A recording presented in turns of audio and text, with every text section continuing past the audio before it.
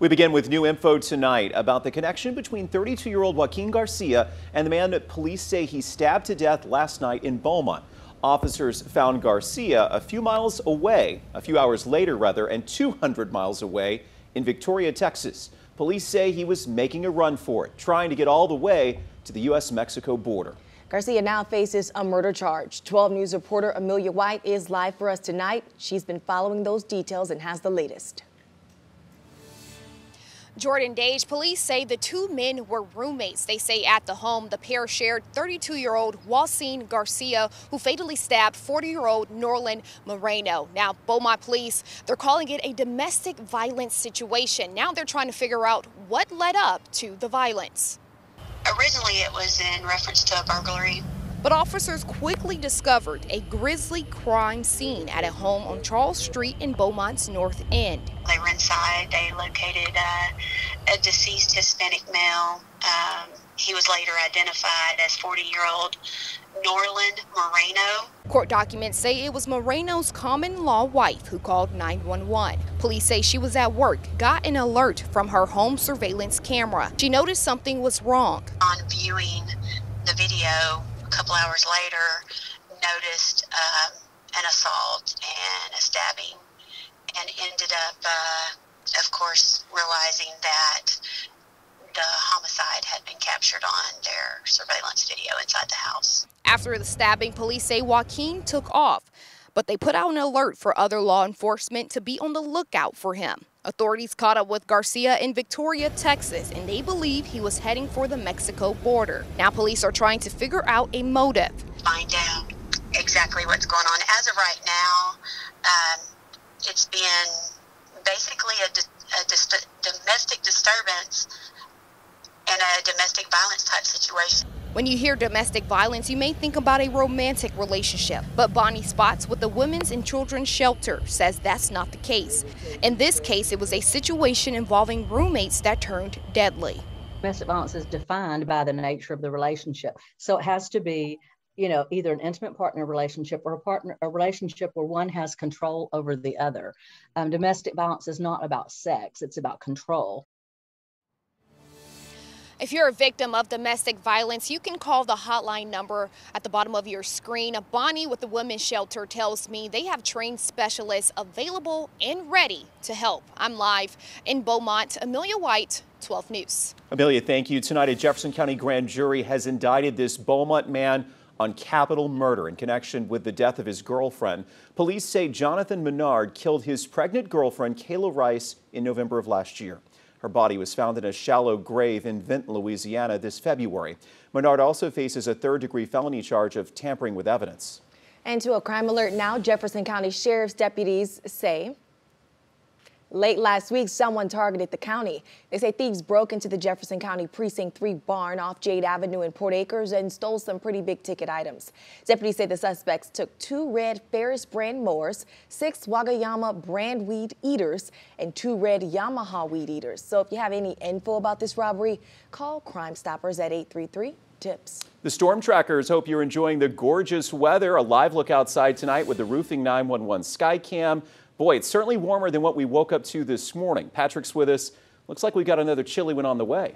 Yeah, but I don't think it's going to be quite as uh, what we quite as cold as what we saw this morning. Uh, a few areas up in the lakes area we're dealing with wind chills in the mid 30s this morning.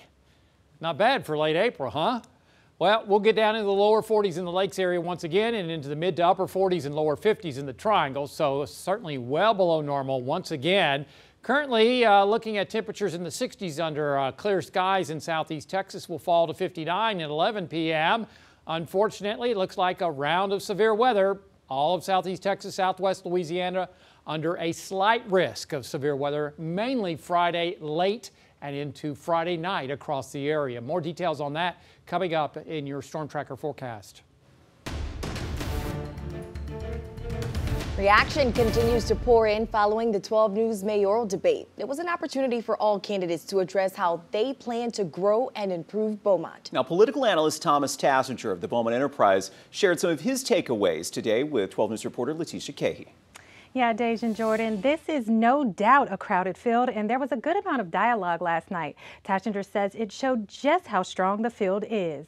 Take a look at the names on the screen. Now, these are the names that will appear on the ballot for mayor. Roy West Jr., W.L. Pate, Bagita Hernandez Smith, LaShawn Proctor, and Robin Mouton.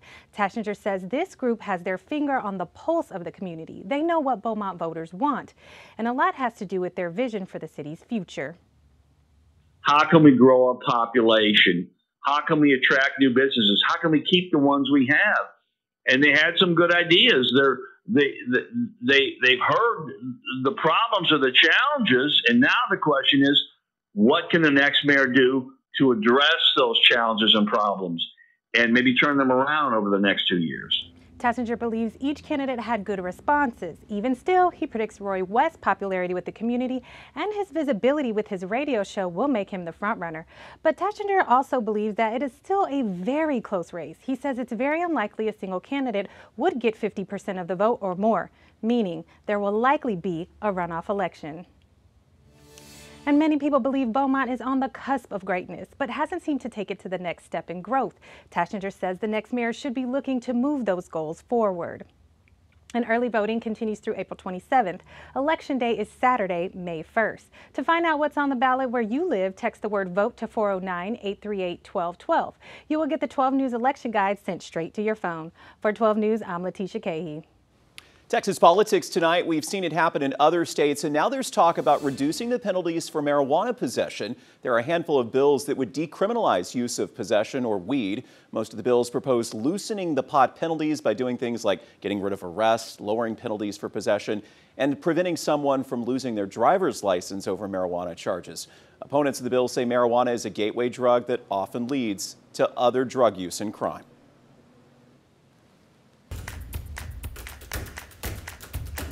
Right now, many of us have seen them sitting in cemeteries looking forgotten. Headstones from decades ago, dirty, unreadable, or destroyed. Markers touched only by time. But students in Sabine Pass are giving them a second chance. This is part of a project for high school students, and they started right before the pandemic. Dejanique, they're restoring history by restoring the headstones. 12 News reporter Christiana Ramos caught up with the teacher and students behind the project. McGaffey Cemetery is where this project all started. Three students with one goal to preserve their town's history. A lot of history lies within the cemetery grounds in Sabine Pass. The earliest recorded burial in McGaffey Cemetery was that of a 12 year old boy named Terrace B. King, who died in 1873. There were a lot of the headstones that weren't there. You could see there was a plot there, but you would see a rock, and there was not a lot of information.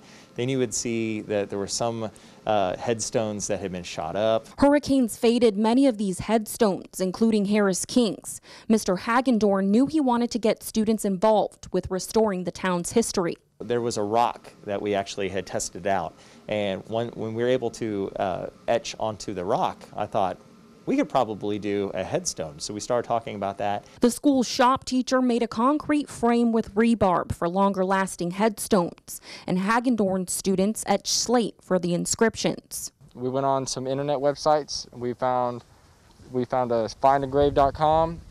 We started using that, and we got a picture of an overview of the, what they what it used to look like here. We figured out the names, and we went into deeper research, looking for family members and what could have been on the grave originally. A project put on pause because of COVID. It's a good feeling finally finishing something good for the community. To keep the people of a small town still alive in some way. This is the only headstone that the students were able to finish this year, but Mr. Hagendorn is planning on keeping graphic design in the curriculum and the project still going in the future. In Sabine Pass, Christiana Ramos, 12 News.